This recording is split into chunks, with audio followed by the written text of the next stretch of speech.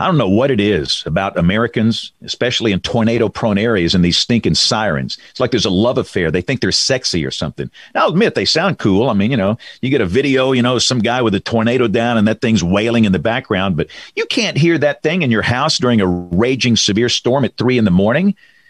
And we've got to be better at, at teaching people this ain't it. I mean, they serve a purpose, they reach a few people outdoors, but that's it and weather radio penetration is embarrassingly low in tornado prone areas, Oklahoma, Alabama.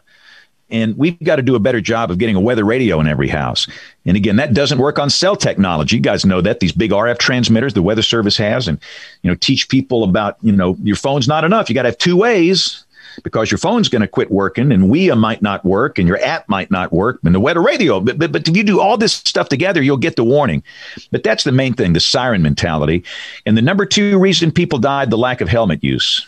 Um, it's not that hard, guys. It's not. Uh, most people that die in tornadoes, and let me just say this I dabble in healthcare, I call it my hobby. Uh, for 15 years, I have been the chairman of the board of a really large tertiary care hospital here. I've just been interested in it.